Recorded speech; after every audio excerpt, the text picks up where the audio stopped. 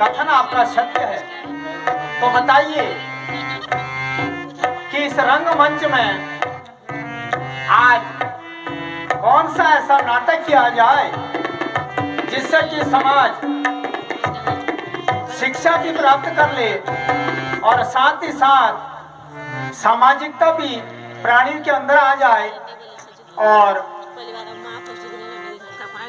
भ्रात प्रेम अन्य सभी मानव को सुख और संतोष, शांत ही परम धाम की ओर ले जाए, ऐसा कोई मंचन इस मंच में रंगा जाए, सो आप कहिए प्राणा प्रिय अब देर मत लगाओ, जाओ और पात्रों को सजाओ और रंग मंच पर लाओ। हर एक पात्र को अपना उचित उद्देश्य सुनाओ। प्राणाथ जो मंचन आज किया जाएगा उसका नाम तो बताइए। वो कौन सा मंचन होगा? हाँ प्रिय आज जाओ। वरुण मंदिर के उपलक्ष्य में श्री राम अवतार का नाटक रचाओ। धन्य है प्राणा। आपका कथन धन्य है। और धन्य है ये लोग। जिनके माध्यम से भैरव मंदिर घटगाड़ सौंदर्यकरण हेतु आज यह मंचन किया जा रहा है।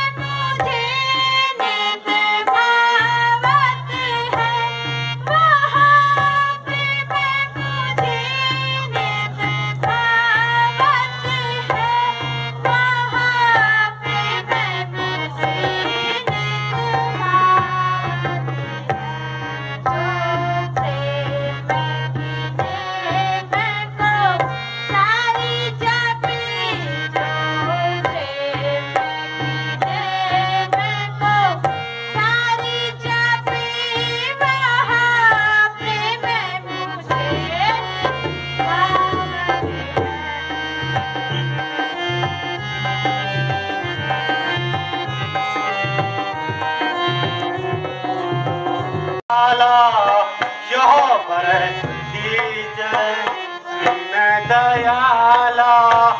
यह पर दीन दयाला।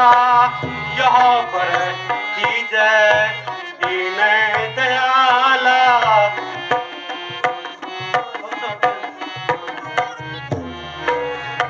तो मैं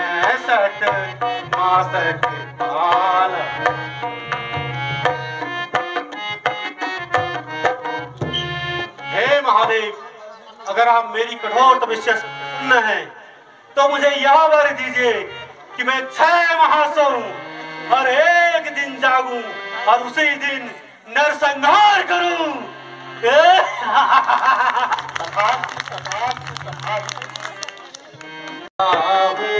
कर मरही न मारे बानर जाति तुम्हारे जाति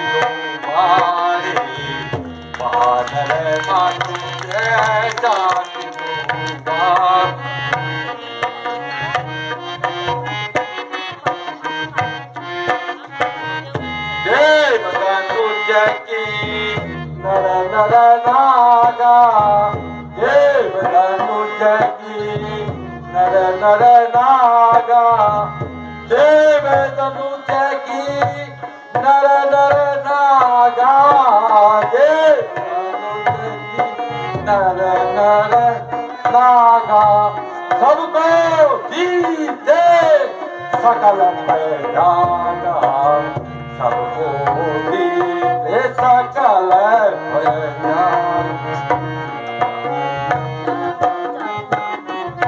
प्रतिदिन महादेव की तपस्या हेतु कैलाश जाया करता हूँ।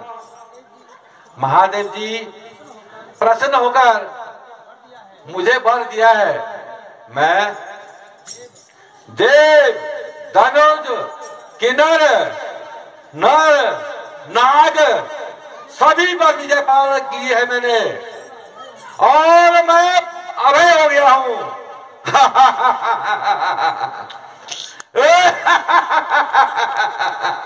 लंकेश, आप नर, किन्नर नाग पर विजय पाके आप विश्व विजय हो गए हो। अभी बर पाके आ रहे हो। कैलाश पर्वत में शंकर जी वही जाने खोले नहीं, उनकी माया वही जाने। आप देवर देवर्षि, मैं तो प्रतिदिन भगवान शंकर की पूजा हेतु कैलाश जाया करता हूँ। ऐसे महानियों को रोज आना आना जाना ठीक नहीं होता है। ठीक है कि नहीं? आप ऐसा क्यों नहीं करते हो? मैं आपको एक सुझाव देता हूँ। शिव पार्वती सहित कैलाश पर्वत को लंका ले आओ। उसमें आपको बहुत फ़ायदा है। आने जाने का बंद हो जाएगा।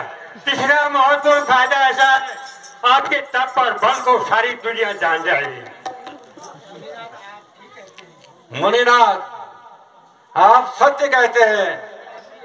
यदि आपकी यही इच्छा है तो मैं इसे पूरा करूँगा। मैं अभी जाता हूँ कैलाश पर्वत को शिव पार्वती समेत उठाकर लंका ले आता हूँ। मेरे को भी ये आशा थी लंकेश कि आप जाओगे कैलाश से शिव पार्वती से लंका ले आओगे। जाओ फिर जाओ। देवर्षि मुझे आज्ञा दे। जाओ। आसमान बहो जाओ। कौशल्या को एक पुत्र हुआ है। जय हो। ईश्वर की लीला। हे भगवान, मैं तुम्हें नमन करता हूँ। आपके द्वारे जो भी आया, वो कभी निराश नहीं हुआ। मंत्री, जाओ, मिठाई बांटो। महाराज की जय हो। महाराज को प्राप्ति हुई है बहुत खुशी की बात है उनकी खूब धूमधाम मनाओ महाराज सुमित्रा महारानी को दो पुत्रों की प्राप्ति हुई है